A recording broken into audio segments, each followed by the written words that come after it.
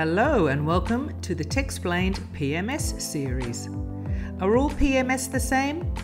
It's very difficult to discover this in an interview format, but in a demonstration video, that's another story. Enjoy! So, the first thing that you're going to see when you log into your Hospitable account is this dashboard. It's going to tell you exactly what your day is going to look like by showing you all the check ins, checkouts, and tasks that you have lined up for today. This will give you a nice little insight into what you need to do as well as where your focus needs to be. Core feature number one is our unified inbox. So all of your messages from all of your platforms will be coming into this one spot. The messaging is real time and native. Native meaning that Barry on Airbnb will get the messages sent from Hospitable to his Airbnb inbox. And Joseph from VRBO will receive them in his VRBO inbox. Now, a thing that a lot of people miss is the filter option. So the filter option allows you to filter your inbox by certain metrics and create saved segments for it. The saved segments help you organize your inbox a little bit better. So for example, this here would only show me the inquiries or the people that are currently staying. Now, my suggestion is always use this to organize your inbox a bit better. Next thing is our messaging threads. This is what they look like, and this is probably where you're going to be spending most of your time in. A little bit about the user interface. You have info about the reservation right here, and info about the guest at the top. You also have insights about the guest at the bottom, so you can check if they're verified, what the average rating is, what the public reviews are, as well as the latest couple of reviews that people have left for this person. This is very useful during the inquiry period because you're going to be able to see is this someone I actually want to host? Do I maybe want to ask them a few more questions? Do I want to ask them to verify themselves? Essentially, it will give you insights about the guest before you allow them to stay at your property. One of our main selling points is our automated messaging system. Barry here was picked for a reason because this was a last minute instant book that happened at 2 a.m. host time. And what we're going to do right now is a little breakdown of how everything happened. The booking was confirmed and accepted, and the reservation confirmation was sent out. Except in this case, since this was a last minute instant book, the reservation confirmation included the check in instructions as well. Because we knew that Barry's going to be in front of that door in a couple of hours. We want to make sure he has everything he needs to let himself in. We also asked him what is the best way to communicate with him by asking for his phone number and email address. Because if your guests leave you an email address in a message like this, we have an integration with MailChimp and we'll be able to automatically send this email to MailChimp so you can remarket these people later on. Next in line was the first morning message where we asked Barry if he settled in and if everything was okay. Except it included this bit here.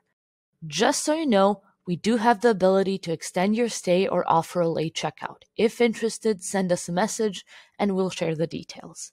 So, what happened? The system picked up that the night after checkout is available. It's a gap night, you're not making any money, and we tried to upsell for you. Now, Barry here unfortunately didn't take us up on it, but he did ask us a question. So he said, We're having some trouble with the Wi Fi password. Could you confirm it with us? Within a minute, Hospitable replied, Hi Barry, here are the Wi Fi details. Reset the router if it's not a password related issue. This is our AI at work. We are able to pick up on questions that your guests are asking you. This goes from Wi Fi and Netflix passwords to pets, pools, parking, early check in, late checkout discounts. Essentially, it's a really large area you will be able to fully automate with this. He thanks us for the fast response. And next in line were checkout instructions. After the checkout instructions is leave a review. So this is an Airbnb only feature where we are able to automatically leave reviews on your behalf on your guest accounts. We also have an option for bad reviews where you can set it up in such a way that that review is posted 30 seconds before the 14 days are up. This is pretty sneaky, but it helps our hosts. And at the end of the day, that's what we're here for. Now, keep in mind the conversation I just showed you is fully automated, meaning the host didn't send a single message to this guest, and the guest got his white glove experience by all means. A bit more about the interface here as well. You have notes, so any internal notes you'd like to leave about the stay. Obviously, the guest cannot see this. A calendar detailing the stay of the guest.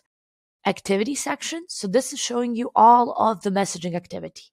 You will be able to see the messages that have been sent, the messages that have been canceled. So, for example, second email request canceled itself because we already sent Barry an email request and he replied.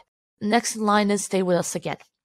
So here you can see by the edit button that this is a scheduled message, meaning it has not been sent out yet. You can click on the edit button to tweak the message before sending it out. This will only tweak the message for Barry. It will not change the actual template. So if you want to add a little bit extra something, you can do that from here. There's also the task section detailing all of the automated cleaning tasks that have been scheduled, which can be altered and edited from here.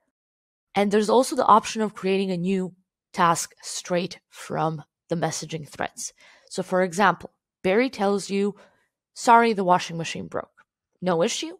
I'm going to click on New, select the start and end dates, assign it to my maintenance team, assign it to my maintenance guy, Ben, and leave a note detailing what happened. As soon as I click save, Ben is going to get a text telling him what happened, where, and when he needs to be to fix the issue. Core feature number two is our unified calendar. This is what it looks like. It's pretty simple, pretty straightforward. All of your reservations from all of your platforms will be coming into here. The platforms we currently have an integration with include Airbnb, VRBO, and Booking.com.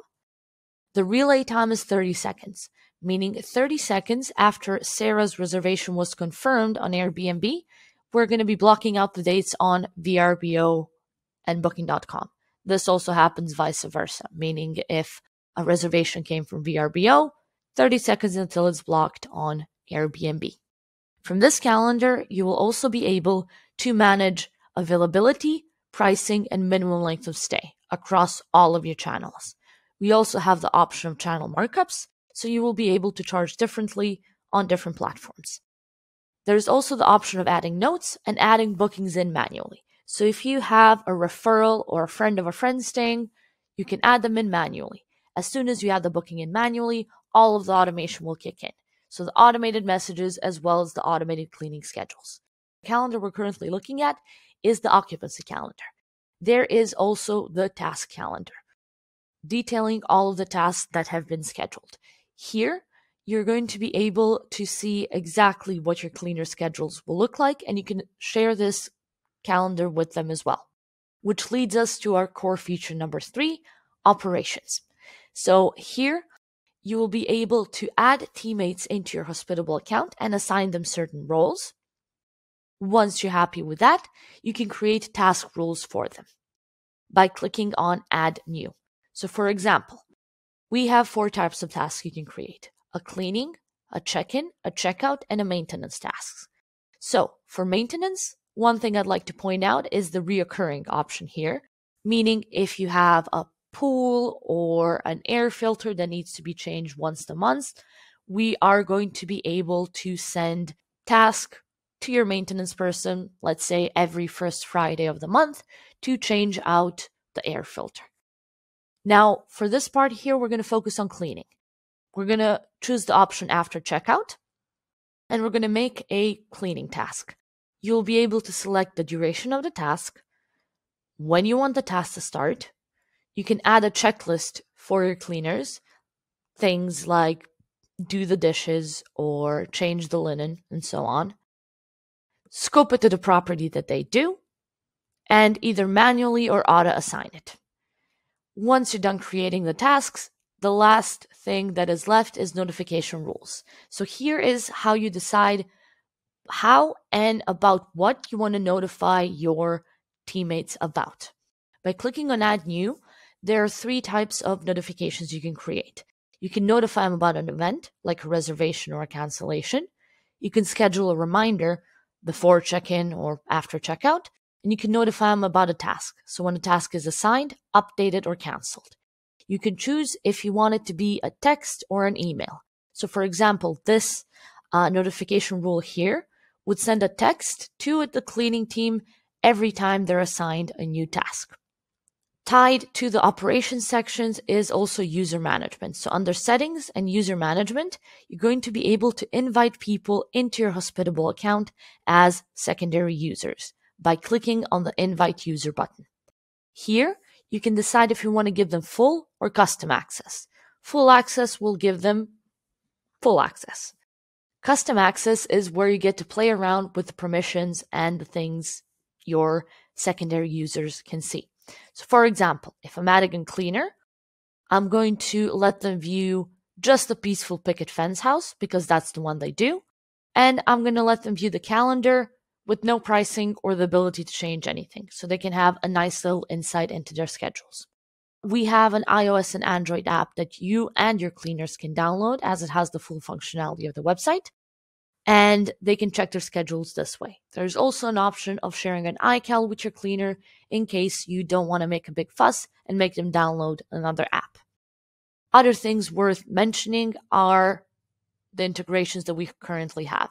So we have an integration with MailChimp for marketing, FlightAware for tracking flights of your guests, PriceLabs for dynamic pricing, although we are able to work alongside any smart pricing tool out there, such as Beyond Pricing Wheelhouse, DPGO, and the rest. AutoHost for guest screening.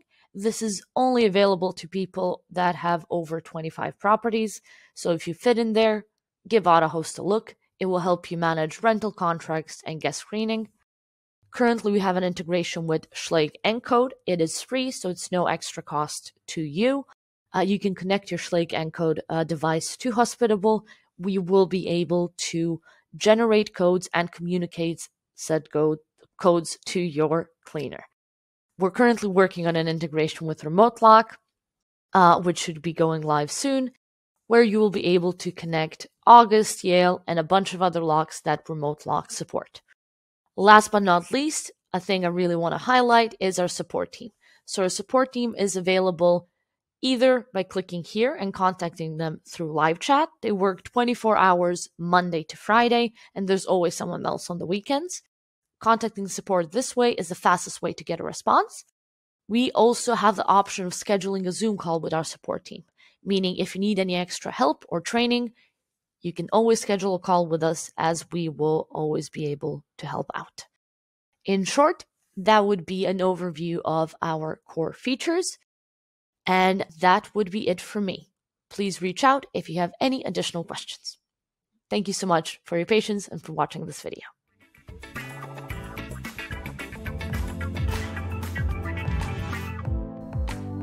Well, I hope you enjoyed that demonstration video.